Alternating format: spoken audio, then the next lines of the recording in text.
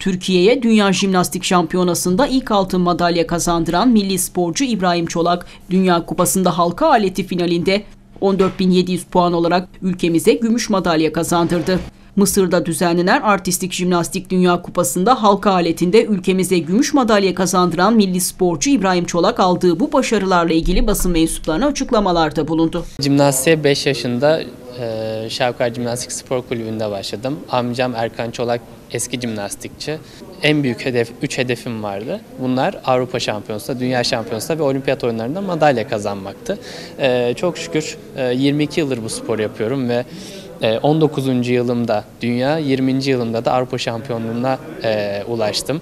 E, bu kadar e, zorluğun, bu kadar emeğin karşılığını bu şekilde alabilmek beni çok mutlu etti. E, 2019 yılında Dünya Şampiyonluğu'na kadar hiçbir sponsorluğum olmamıştı. Bu tarz desteklerin özellikle amatör spor branşlarına, amatör sporculara e, çok faydalı olduğunu gördüm. Bir sporcunun antrenmanı dışında hiçbir şeyle kafasının yoğun olmaması gerekiyor ki yaptığı işte, yaptığı spor branşında başarılı olsun. Beni moral motivasyon olarak e, yükseltiyor ve işimi daha iyi yapmama, daha e, kafamın rahat, daha çok odaklanabilmemi sağlıyor.